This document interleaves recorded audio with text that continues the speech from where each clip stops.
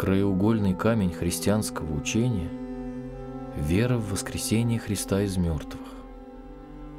Это событие более всего подтвердило, что Иисус Христос, наш Господь и Спаситель, есть всемогущий Бог.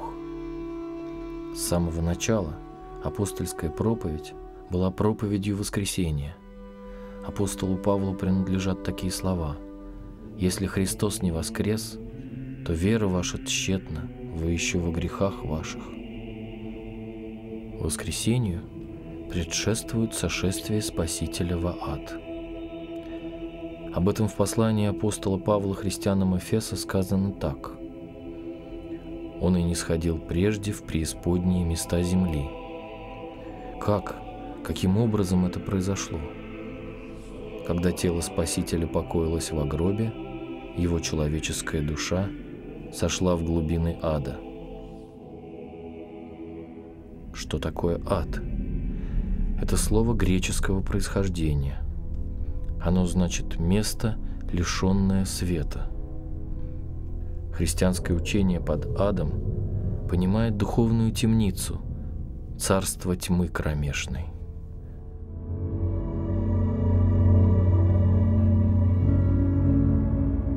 Ад – это состояние отчуждения от Бога, невозможности лицезрения Его света и приобщения Его блаженства –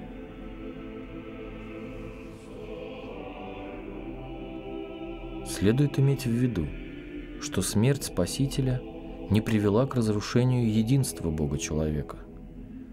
В едином лице Христа две природы соединились неразлучно. Естество божественное никогда не отделялось от естества человеческого ни во время страданий, ни после смерти. И хотя душа отделилась от тела, божество Христа ни с телом, ни с душой не разлучалось для чего Спаситель сошел в ад. Мириады человеческих душ томились в преисподней. Страдающим в аду людским душам Спаситель проповедовал Евангелие, благую весть о победе над смертью. И после того, как многие поверили Ему, они были спасены. Сошествием в ад Господь заставил бежать от лица Его сатану – которого апостол Павел называет имеющим державу смерти.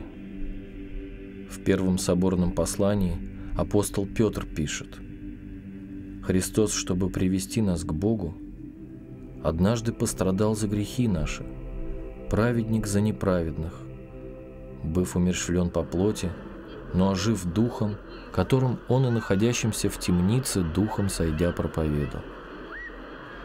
Это свидетельство священного писания совершенно исключает ложное толкование, согласно которому Иисус Христос в ад не сходил, а праведников вывел оттуда некой божественной силой.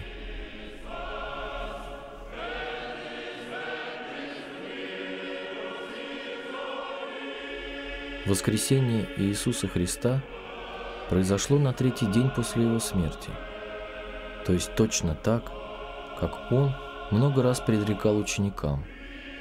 Спаситель умер в пятницу и воскрес в воскресенье.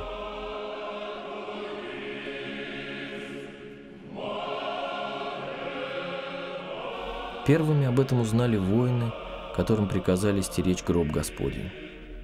Они известили иудейских первосвященников и старейшин.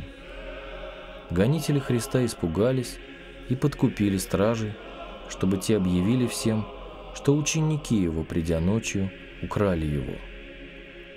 Из последователей Христа первыми узнали о его воскресении женщины, которые следовали за ним из Галилеи. Церковь называет их женами-мироносицами. У гроба перед ними предстали ангелы и сказали, «Что вы ищете живого между мертвыми? Его нет здесь, он воскрес». В воскресение Спасителя трудно было поверить даже его ученикам. После того, как апостолы увидели, что гроб пуст, ни у кого из них, за исключением Иоанна Богослова, не возникло мысли о воскресении. Сама по себе пустота гроба не была бы серьезным аргументом в пользу воскресения, если бы в пещере не осталось погребальных одежд. Обряды иудеев были таковы, что снять пелены с тела умершего было практически невозможно. Вероятно, именно это обстоятельство окончательно убедило апостола Иоанна в факте воскресения. Апостол Фома продолжал сомневаться – даже после того, как другие ученики Христа свидетельствовали ему о явлениях воскресшего. В течение сорока дней Спаситель являлся апостолом. В книгах Нового Завета описывается десять явлений воскресшего Христа ученикам. Спаситель продолжал говорить им о величайших тайнах Царствия Божия – Слова символы веры воскресшего в третий день по Писаниям заимствованы из первого послания апостола Павла Коринфянам. Он погребен был и воскрес в третий день по Писанию. По Писанию означает, что Христос умер и воскрес так, как о том написано в книгах Ветхого Завета. Например, у пророка Исаии. «Он изъязвлен был за грехи наши, и мучим за беззаконие наше.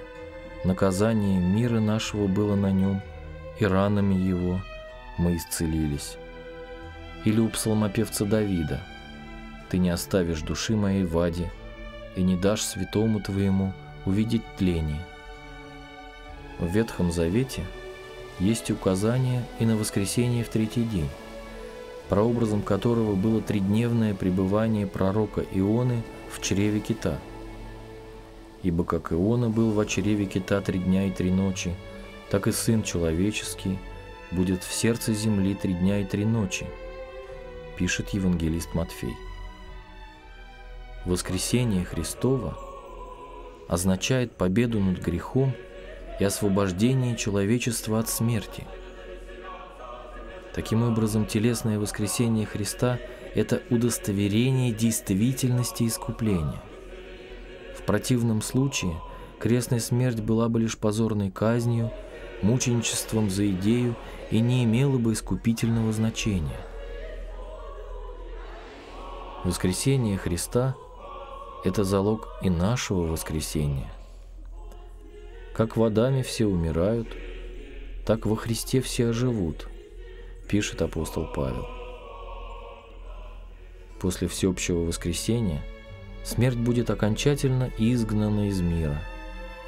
Последний враг истребится смерть, говорит апостол.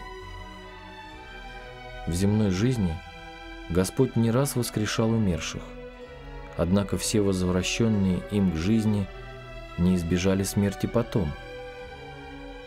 Только воскресший Христос уже не умирает, смерть уже не имеет над ним власти.